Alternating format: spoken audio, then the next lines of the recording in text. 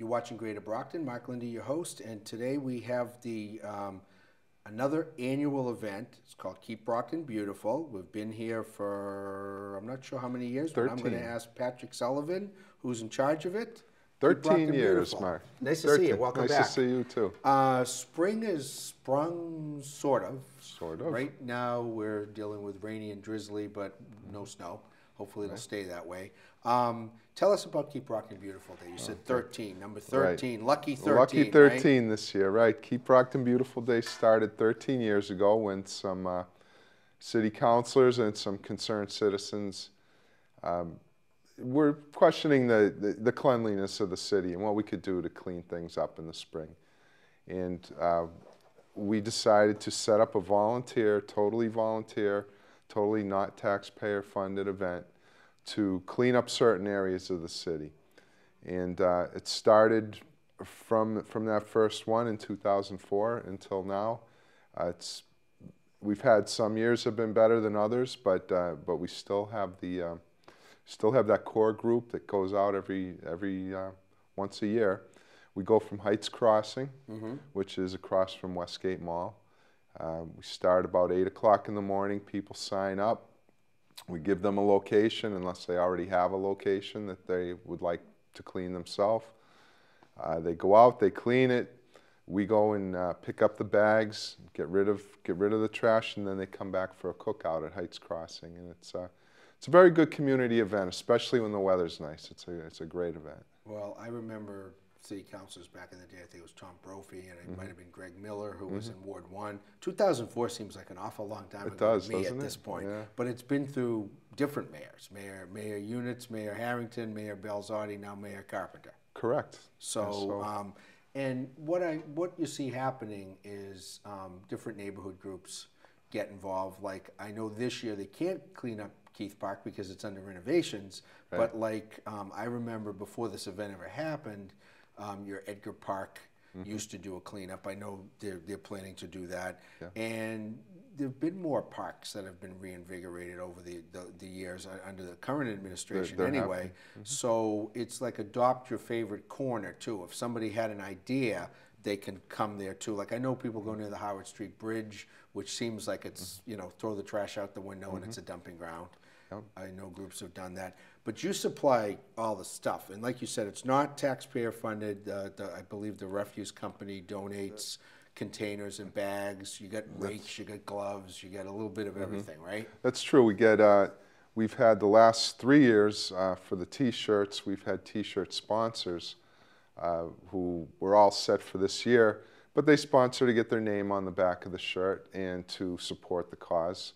So everyone still can get that free T-shirt that shows up, and, and it pays for the gloves and the things that we only use once. Um, and and that way we keep it as just basically a community type event. Now there is, if I'm not mistaken, too, a beautification committee. There is a beautification committee in, in the city of Brockton, and uh, I'm on that. My, my supervisor, Larry Rowley's on that, the DPW commissioner. Uh, we're, and uh, we also have one city councilor Is that who would be on that. Is that Ann Beauregard or Shirley? No, it's Shirley Asack is, Okay. is on our, uh, she's the beautification committee uh, member. And then we have uh, just some various community members, and that's not really limited, but uh, there's a, you know, there's a few people that, that uh, are on that committee. And they drive not just Keep Brockton Beautiful Day, but any type of uh, community event. We, we're not just limiting ourselves to that day. We do Right. different cleanups. Uh, this is the biggest one by Yeah. far. I know they do one in but- Campello. I know they've done the They- Mm-hmm. BRA has done them in the past before. I right down the street off, off of North Main. We've been we've been to all of them, and and, Yeah.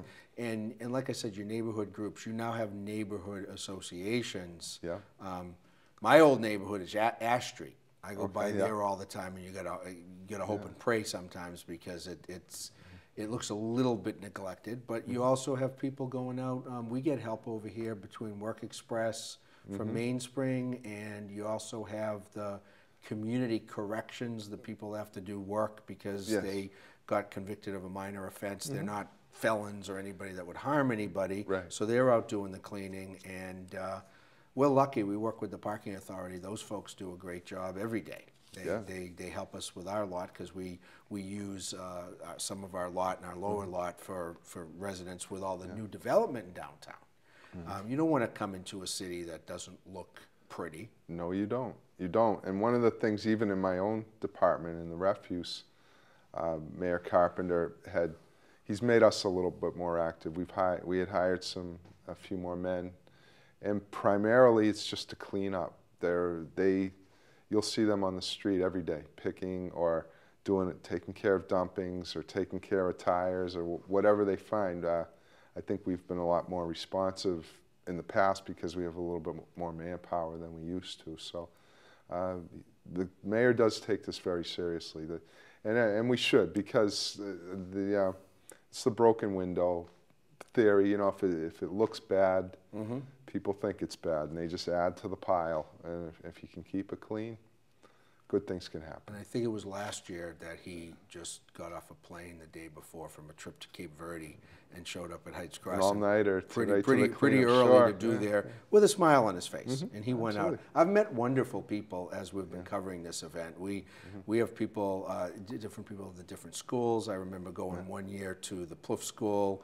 Uh, J- Jay was with me, and we got them all to do a cheer to keep Brockton beautiful. People get pumped up about it. It- They do. I mean, if you look around the city, there are a lot of nice locations. I know Garden Club participates with Yes, they you. do. I know they have a big show coming up, um, but it's a different weekend. I, yes, Yeah. I don't think it's, It's on. this uh, weekend. It's not It's this weekend, so it's early. But they beautify the city. They do a great job. Mm-hmm. plantings, but they also care about different places. Uh, Lynn Smith is involved with that Douglas Garden over on Frederick Douglass Avenue, so I know that gets spiffed up. The kids from the, the, the what I call the old Brockton High, they Uh-huh. usually work around that area. So something for everybody. There's not a lack, and, and the Heights, nice thing is Heights Crossing Mm-hmm. lets you guys use that place to start it and do the cookout at the end. They're a good community That's partner. that's such a big help. It would be so hard to find an area that can accommodate all those people, and uh, and do the cooking for us and, and provide the food for free. I'm not sure what we'd be able to do without them. It would make life a lot harder.